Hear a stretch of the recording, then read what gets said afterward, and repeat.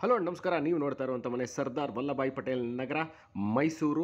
ಎರಡನೇ ಹಂತದಲ್ಲಿರುವ ಈ ಮನೆ east facing site and east facing door ಇಟ್ಟು ಕಟ್ಟಿರುವಂತಹ twenty thirty single floor two bedroom house ಅಂದರೆ ಆರುನೂರು ಸ್ಕ್ವೇರ್ ಫೀಟ್ ಲ್ಯಾಂಡ್ ಏರಿಯಾದಲ್ಲಿ ಕಟ್ಟಿರುವಂತಹ ಈ ಮನೆ ನೀವು ನೋಡ್ತಾ ಇದ್ದೀರಾ.